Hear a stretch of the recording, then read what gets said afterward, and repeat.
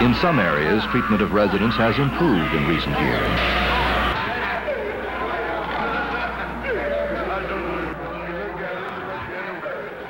Residents who were, until recently, kept tied to beds are now allowed to join other residents. Cottage 2 is one of the wards these residents could be assigned to. Shortages in staff result in an environment of total social chaos.